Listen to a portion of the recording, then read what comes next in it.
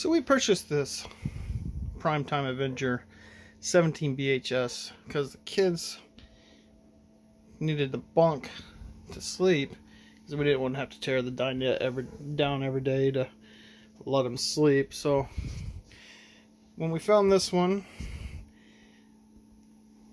they both liked it. Uh, it has the light down there and the skylight up there.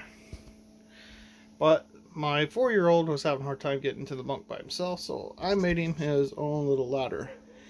There's places where you could purchase a ladder.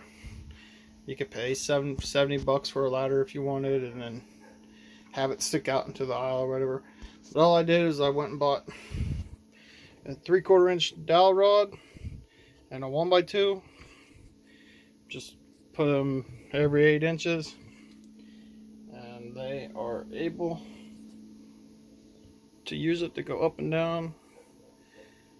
And there's no problems. There's these little hooks that you could buy on Amazon.